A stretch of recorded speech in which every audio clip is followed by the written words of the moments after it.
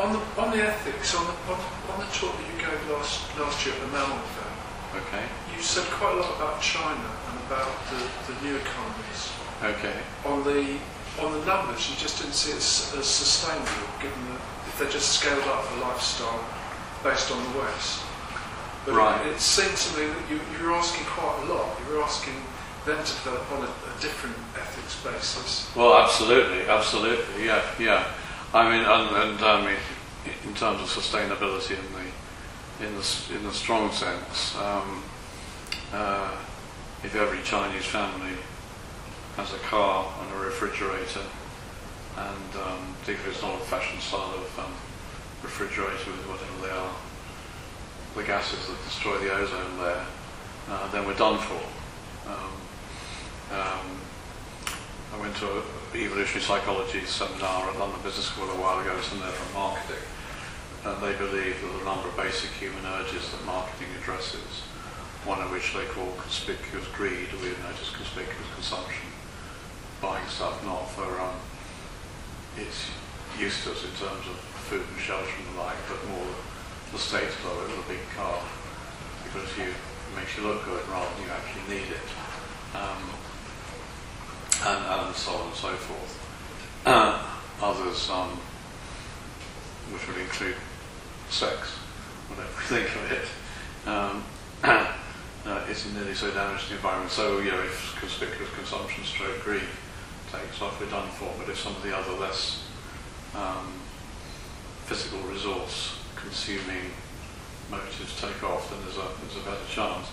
I'm sure in China and to a lesser extent India, there's quite a lot of cheap labour in the hinterland to go at that will keep us going for a number of years. But already, um, when I mentioned sort of Singapore jumped over the cheap labour stage, and certainly um, India and China, Mumbai and um, Guangzhou is it in, in, one in big they're the kind of the industrialisation centres. Mm. Uh, they may get into trouble on the ethical front through exploiting cheap en- cheap cheap labour at the front end.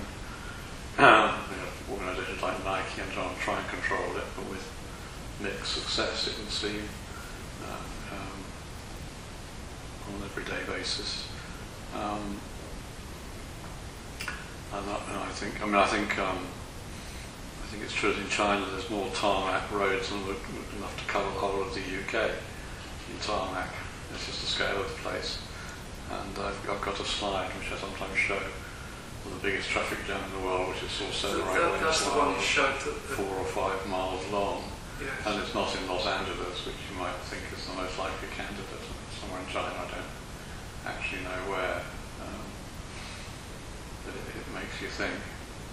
But the- the- it's largely on the... And of course, they, they would say, um, well, you know, the West has been, you know, producing carbon dioxide and the other naughty things for decades and more, so it's our turn, thank you very much. Um, and they may, and Michael Porter, who's kind of a great sort of free market economist, Adam Smith, says, well, you know, free market will take care of this. In fact, there's an opportunity here for the West to, do, to develop, say, the technology that um, captures the carbon dioxide from coal and pumps it back down into the holes under the ground where it will stay. And if we can develop that technology, we can sell it to China and wherever. But um, will, will they bother? And they probably won't bother until it kind of is, is in their face. So just as in London centuries ago, uh, uh, Bazalgette built the, the sewage system uh, only because um, the House of Commons became uninhabitable due to the smell from the Thames. But now we have, well, we've had smog in Singapore, haven't we, recently? And, the, um, and I think in Beijing, um, air pollution is fairly frightening. And a lot of Chinese people go around wearing masks these days, you notice, yes. even when they come over here.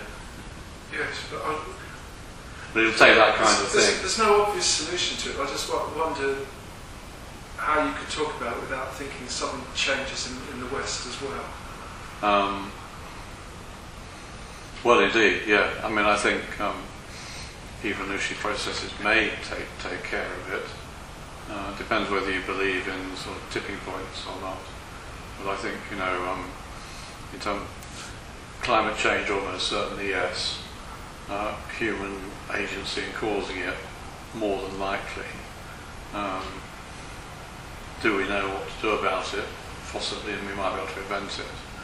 But are we past the tipping point, you know, point of no return, in which case we're done for? That's certain, I, I hope not, but if, if, we're not, then there's time for evolutionary processes and free markets are like water to take, take care of it. Let's hope that's the case. But virtualization obviously helps, to that theme, because um, you know, a teleconference or a Skype or whatever, is, I mean, obviously some servers somewhere burning energy, but that's going to be a very small fraction of all the air, airfares and air fuel and stuff that it takes to um, convene a face-to-face meeting on a kind of global corporate scale.